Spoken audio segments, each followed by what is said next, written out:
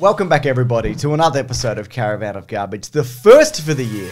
And we thought to ourselves, Mason, we thought to ourselves, this is the thought process that we thought to ourselves. I'm listening. leading I up, would love to know what my thought process is. leading up to Robert Pattinson, or Robert Battenbat, which is his official The Batman name. That's correct. Get a Uh, hashtagging. It's already trending, but if you could just keep it trending, Keep it that'd rolling be forever, great, yeah. Uh, yeah, leading up to him portraying the Batman in the Batman, there isn't really a better time uh, in media to cover what many people would consider to be the pinnacle of Batman in film. Early 2000s. Mm-hmm. Fearsome Creatures of the Night. My goodness. Well, that's exactly right. And of course, the best place to start would be, you know, your Batman Begins. So please leave a like for this video, where we're obviously going to be looking at Batman Begins. And bearing in mind, it's it's very improper to take back a like after you've given it. With that being said, Psych! we're actually covering um, Twilight. We're- we're watching Twilight. movie, and maybe all of the Twilight movies. Baby! we don't See know how yet. this one does, views wise. Now, you've seen Twilight before. This is the only one that I have seen, and I saw it Ah. at the movies in 2008. And I've got a question for you, Mason. Go on. Uh, it's not Batman related.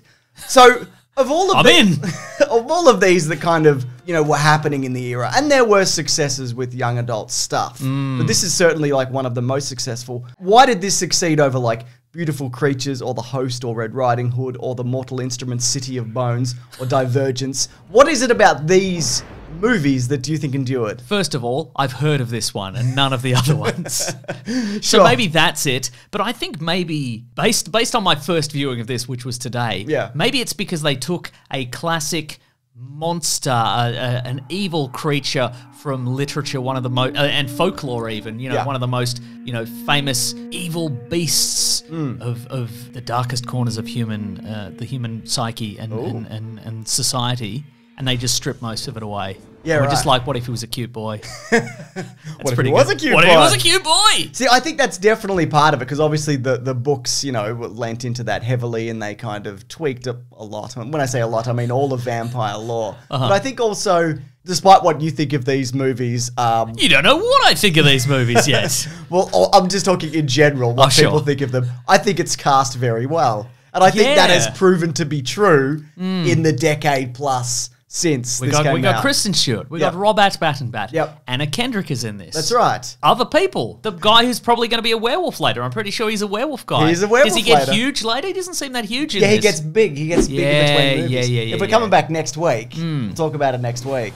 Uh, so yeah, five thousand people read for the role of Edward Battenbat. He had an, uh, an intellectual approach that was combined with uh, I don't give a fuck about this, but I'm going to make it sing. That was from Kristen Stewart, and she was like, "Ugh, same." So I feel I feel like that kind of sums up their chemistry. Now, was there are those quotes from like the press tour, or are they from years later? I think it was like from years later. Okay, right. That wasn't they were they were being interviewed by you know MTV or something like that. No, nothing Well, like what that. is fascinating about this movie is I was watching it for the first time today, and Yep. for the first like 10 minutes, I'm like, hey, this isn't so bad. This is like this sort of coming of age story. Like this girl goes to this backwater town. Yep. She's she's meeting all these these you know the the the, the she's Nerds. Going, she's going to the she's going to this new high school. She's meeting all the nerds, and I'm like, this is all this is all kind of fun. Yeah. This is all kind of you know I'm I'm liking their their they're all their chemistry all together. I think they they they make a good kind of ensemble cast. They've all got different haircuts. And then Edward Cullen shows up. and then Kristen Stewart and Robert Battenbat, zero chemistry. You think so? He's going out of his way to be unlikable, this guy. my, my, uh, my first note here is why is Edward Cullen so weird? He's had a hundred years to learn how to not be weird. You know what I think it is? You know what I think you're missing here? Just, just to be clear, also, this ground I'm, I'm guessing is very well worn. We are probably not going to Oh, come yeah. up with any incredible insights here. But so this, this vampire family, Yep. What do you think of the outfits, for one? That's my first point. like the, the their their plan is Yeah. that they want to they want to blend in a human society. They don't want to stand out. One of the, and and one of the things is because they obviously don't age because that's the one thing that's the one vampire thing that remains Yeah. in these movies. They move to a new town every few years. Or just go back to the same town. they enroll their, their vampire brethren, the ones that look most like children, into school, and they Yep. have to do school again. But they don't go to any effort to look like children. No. You know what I mean? They're wearing like weird avant garde outfits. Well, you know what I think it is. I think Yes. I think what what you're missing is maybe a lot of that stuff was cool in 2008 for one, and that's what they were. Oh, they're like for. they're like, but they but that's the thing. They don't dress like little awful greasy children from that era, and just like band t-shirts and flannel shirts or whatever. They're all wearing weird technical outfits. Yeah, it is very just strange. weird asymmetrical cardigans and all kinds of weird.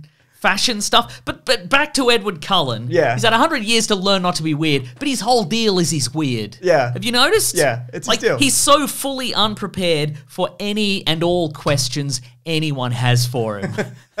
They're like, "Would you like a drink?" And he's like, "I don't drink water." That's very specific. Yeah, I think that comes down to because of, you know, and I love the way they kind of play off each other in terms of they both act like they find the other one like the worst smelling person they've ever sat across from. Right. Like that's the vibe, which I thoroughly enjoy. well, and I think obviously, you know, like he's thrown by her is what was- sure, is yeah, my yeah, point. because he can't read her mind. Is that that's Yeah. the deal, right? Oh, that's another thing that vampire power that some of them have. Sure, some vampires can read minds. Some vampires more of a vibe they get. Yeah. you know, and that guy's got a cool vibe. Hmm. I'm gonna eat him. Vibe fire. Is that anything? No. Cut that out, man.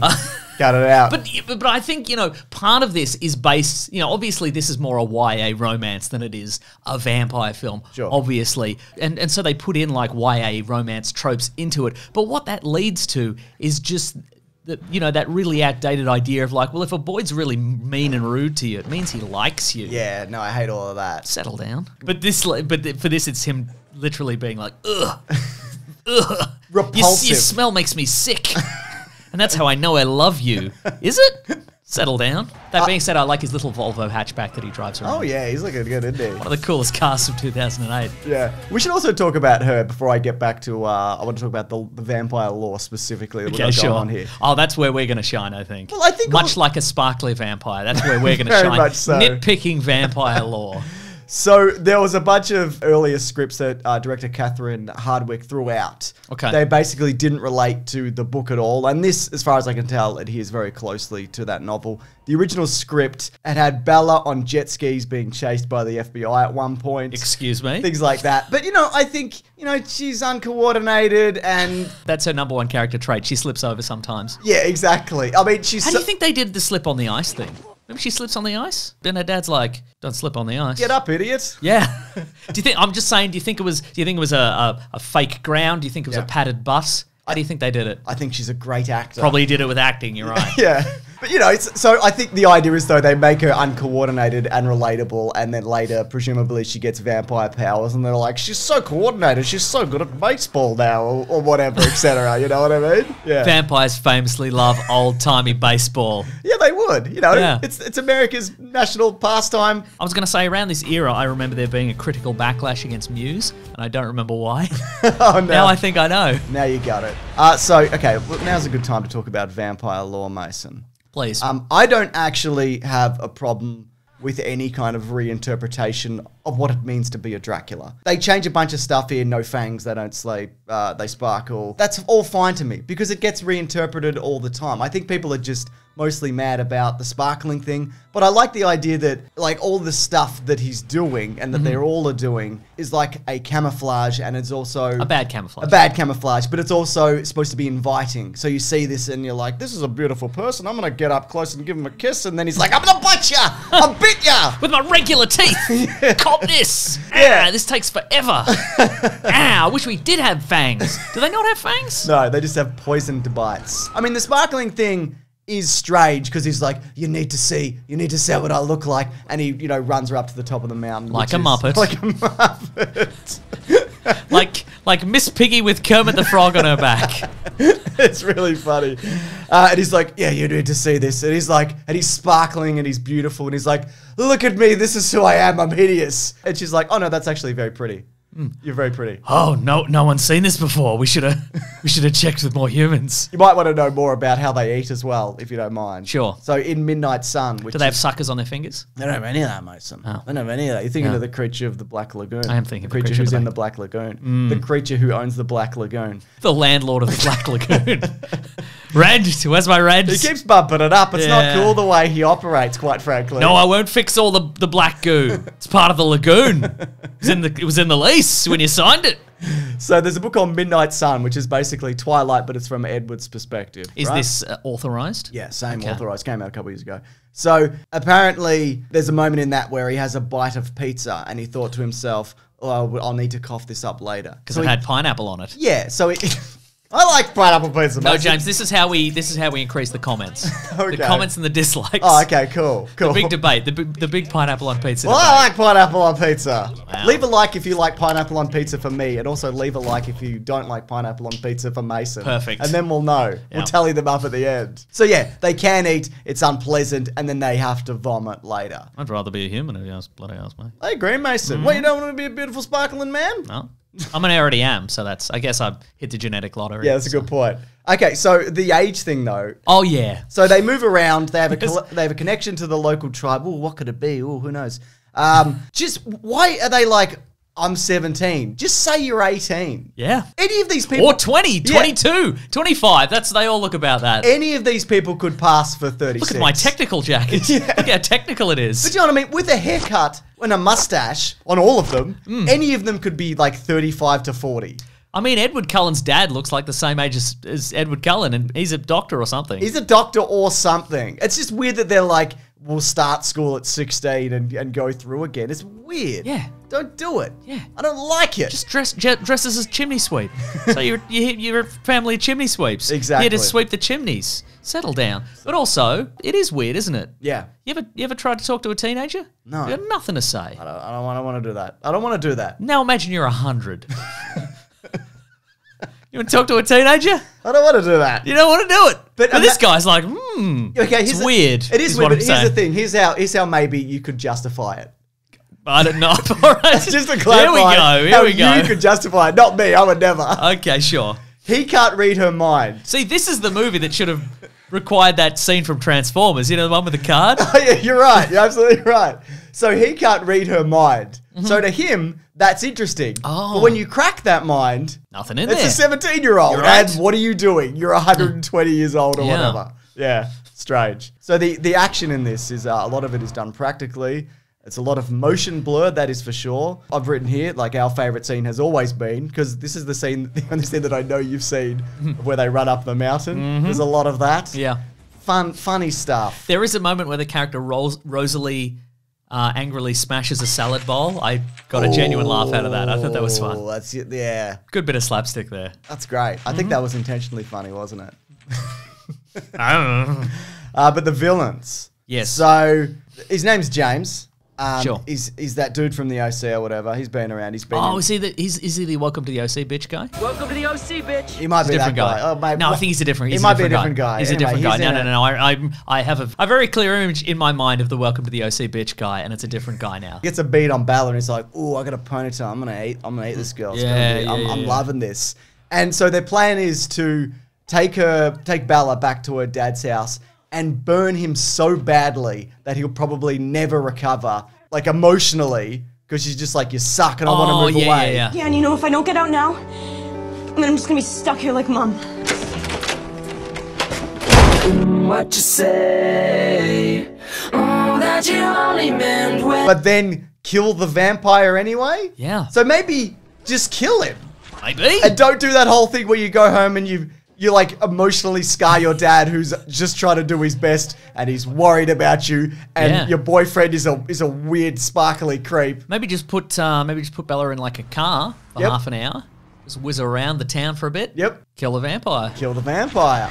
Get out of the car. So they have a, they have a, they have a punch up in a, in a, in a ballet theater and there's Ooh, mirrors. rent a helicopter. Yeah, that's good. Have a act- fun, have a fun little, fun little uh, helicopter tour of Forks, Washington. Would you go near any of the tall trees? No, I'd go above the tall trees. That's right. yeah, yeah, yeah, yeah, way above. Yeah, yeah. Like helicopter high. Like helicopter yeah, heights. yeah, yeah, yeah, yeah. Yeah, they, so they have a punch up in the whatever, and you know they're kicking each other. and then there's a I think it was fascinating. It's a fascinating choice, James, to set the big action finale in a room full of mirrors, but not utilize the trope that vampires don't appear in mirrors. oh my god, I didn't even think of that. There's a couple of shots though, Yeah. where like one or both of them don't appear in Oh, a yeah. mirror, and I I think maybe So it's optional for them. I think I think maybe I think there's a setting.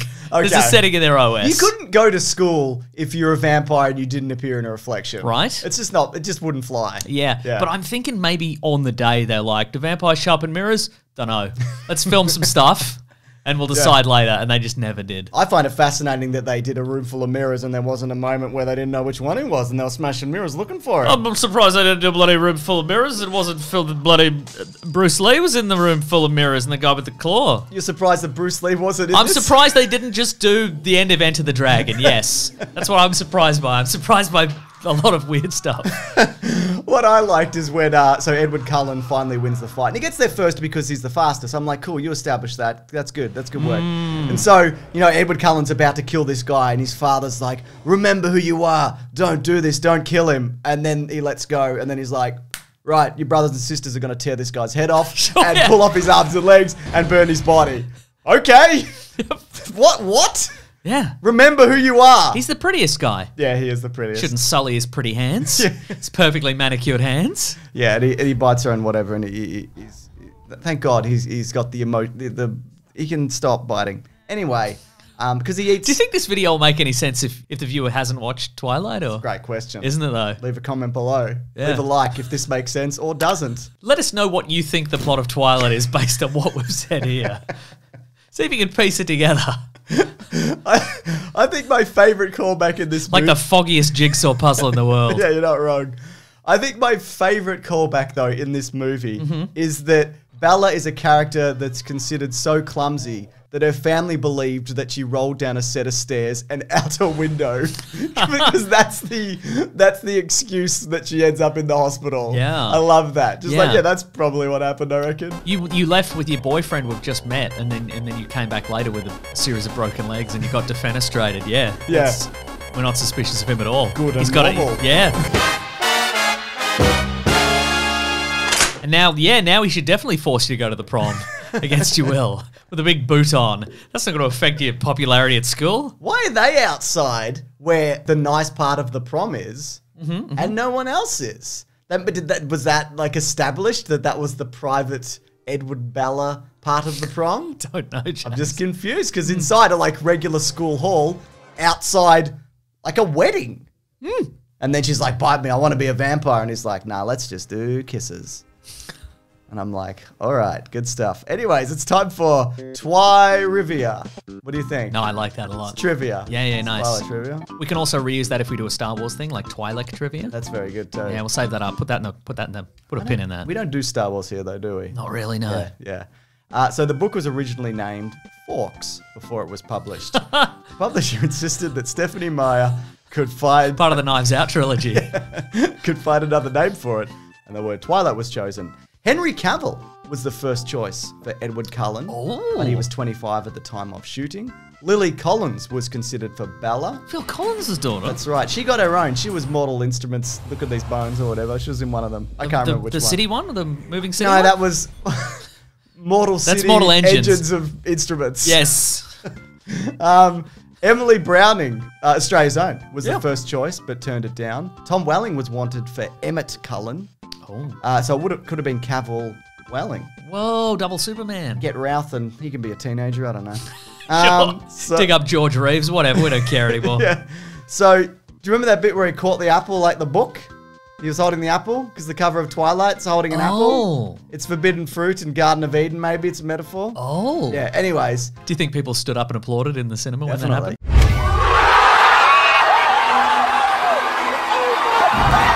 Just remember the baseball scene. That's yeah. all I remember. Anyways, it took 13 takes to catch this one apple Ah, and get it that's right. like when uh, Tobey Maguire had to catch all that stuff. On Exactly. The But I say I say weak because he caught a full tray full of food Yeah. and he did it with a smile on his face. That's true. And I didn't see a goddamn smile in this movie. Yeah. Uh, speaking of food. But food. I mean, from another perspective, um, the Twilight crew probably hates uh, Robert Pattinson less than the Spider-Man crew hates Tobey Maguire. That is so- almost certainly true. Uh, speaking of food, Uh, the bite that Edward Cullen uh, takes out of James's neck Mm-hmm, was made of ham and cheese. Ham and cheese. That's right.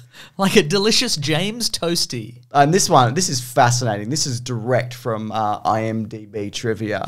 It's hot. It's so piping hot. I brought it over. My computer is literally sizzling. Yeah, you got to get this trivia out before your computer melts down. Uh, in the classroom scene where Edward and Bella are seated and share a desk, Edward is on the left and Bella is on the right. In the novel, Bella sits on the left and Edward sits on the right. Whoa.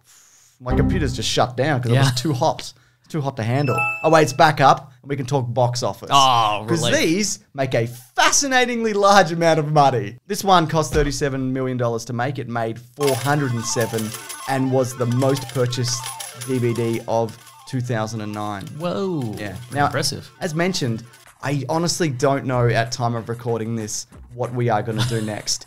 Will we come back and do the Twilight Saga New Moon 2009? Will we trick you again and say we're doing Batman? Will we just do Batman? I haven't decided how long I want to take this joke yet. There's apparently four more movies you were saying in this in this if we just do the Batman, there's there's only three of those. Exactly. Anyways, if you do have any suggestions for Caravan of Garbage, please leave it below. And if you want to know what's going on here, you can actually see these early if you go over and sign up at bigsandwich.co, where there's early videos, bonus podcasts, movie commentaries. That's right. Uh, we recently did, uh, in honor of the Batman, we did Nicolas Cage's Ghost Rider 2007. Hell yeah. And there's a bunch of other stuff there, including our podcast, The Weekly Planet, where we talk movies and comics and TV shows. We're back there, by the way. That podcast has kicked off again. For Hell the yeah. year. Uh, thanks to Ben and Laurence for editing this video and coming back for another year. And we'll see you guys in the next thing. Grab that jam, you guys. We'll see you real soon. Twilight. What a movie. What a series, maybe. Yeah. Yeah. Do you think I, I, I'm, I'm I'm torn because maybe I'm like this is a this is a hilarious thrill ride. Four more movies, but Yeah. maybe we get through like two more movies, and I'm like, I hate this now. You got to see the baby, though, right? You, you telling me there's a baby? Yeah. you got to see that baby. All right. Thanks, everyone. Okay, bye everybody.